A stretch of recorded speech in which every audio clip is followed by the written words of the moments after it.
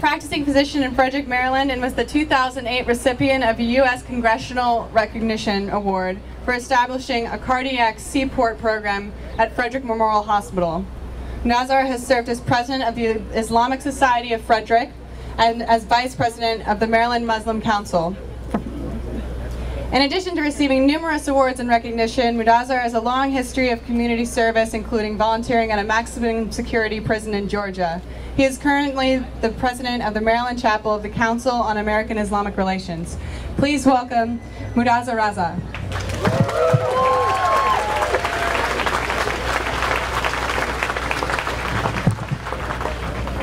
Assalamu alaikum. That means peace be upon you. I want to start off by asking everybody, what makes us all American? I remember pondering that question at Brooklyn College uh, when I was taking political science, uh, much to my parents' dismay. what makes us all American? Is it ethnicity? Look around you, that can't be true. We have an African American today at the highest office in, in, of, our, of our land here. Is it religion? No. No. We had a Mormon American running for the highest office.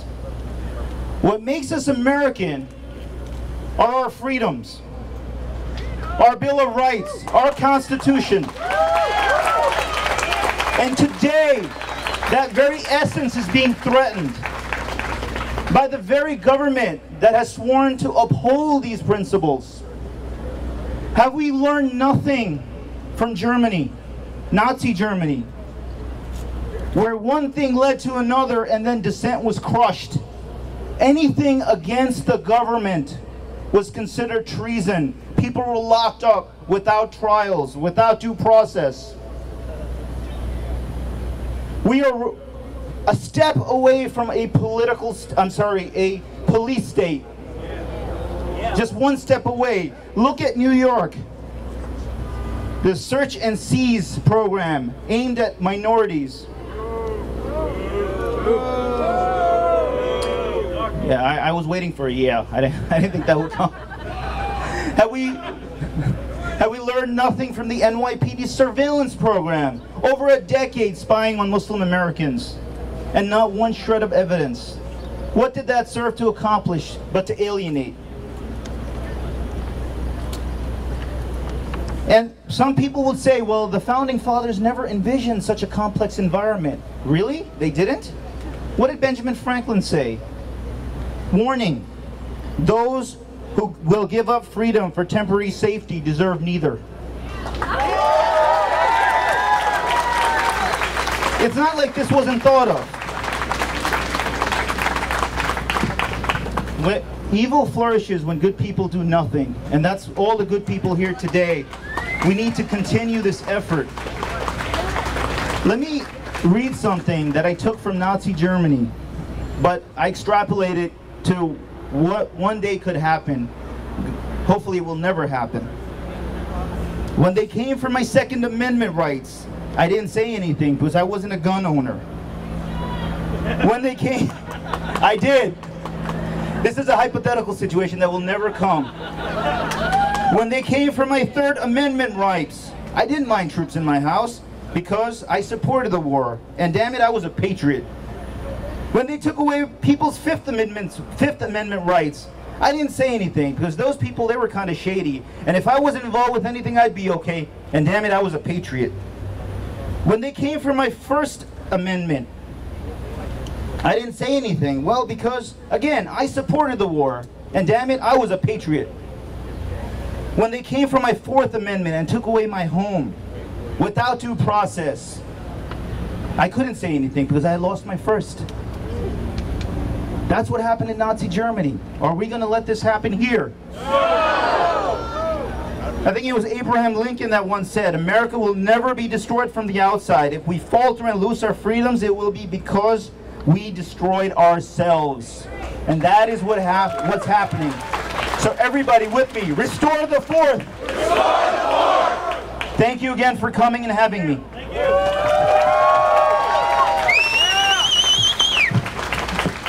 Please welcome Robert.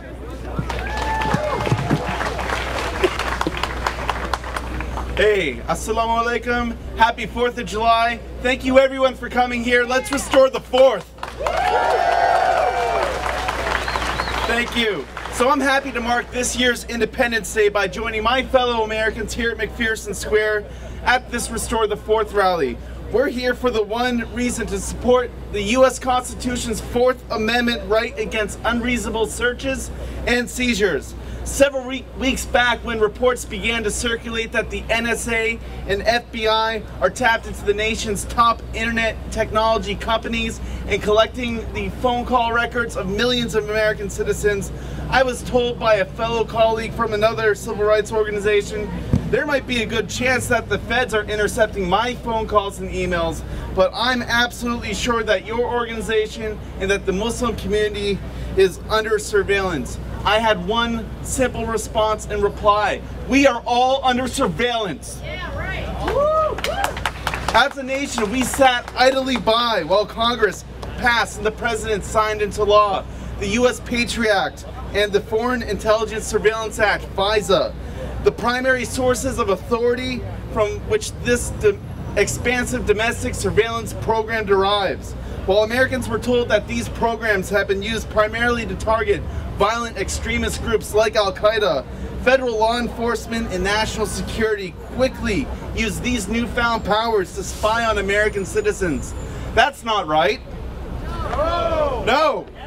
This all-encompassing domestic spying program that collects and deciphers metadata from our phone calls, from our emails, from the, our online footprints, it doesn't only affect the civil rights of uh, Muslim Americans, it corrosively dismantles the privacy and free speech rights of all Americans. Yeah. The 4th of July honors that triumphant day in 1776 when the Continental Congress adopted the Declaration of Independence. Let's celebrate that. Asserting the right of the America's 13 colonies that they were free and independent from the tyranny of British rule. Our nation's founding fathers rejected and mothers rejected the absolute despotism and the long train of abuses and usurpations of American colonial citizens' rights and rules of law. Sounds kind of familiar right now, doesn't it? Yeah. Prior to the, here's a little history for you quick. Prior to the Declaration of Independence being signed, in 1761, Boston lawyer James Otis spoke against the overly broad warrants that were being issued by the British government. These writs of assistance allowed the Crown's agents to search any house or ship they wished without any specific reason. John Adams, signer of the Declaration of Independence and second President of the United States, he said of Otis's speech, then and there, the child of independence was born. And here we celebrate that birthday. Today we rally under disheartening reports that the federal government has engaged in acts of domestic surveillance and spying, which undermines those very core constitutional privacy protections and prohibitions against these unreasonable searches. While some in Congress and the White House, they say that these programs, these domestic spying programs are lawful, CAIR in the civil rights community believes that the Fourth Amendment and the Constitution is clear the right of the people to be secure in their persons, houses, papers, effects against unreasonable searches and seizures shall not be violated and no warrant shall be issued upon probable cause. I'm sure if they were writing that today, they'd include phone calls and emails.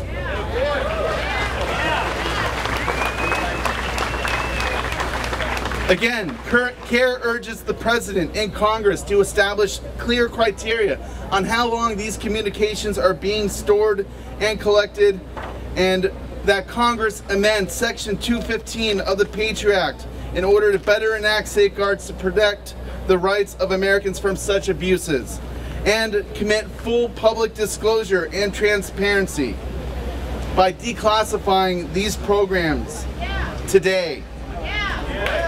Furthermore, without any additional information about the criteria used to determine how the NSA and their analysts use these programs to only target individuals based on their foreignness, CAIR remains equally concerned that these programs could be discriminating against the basis of religion and national origin.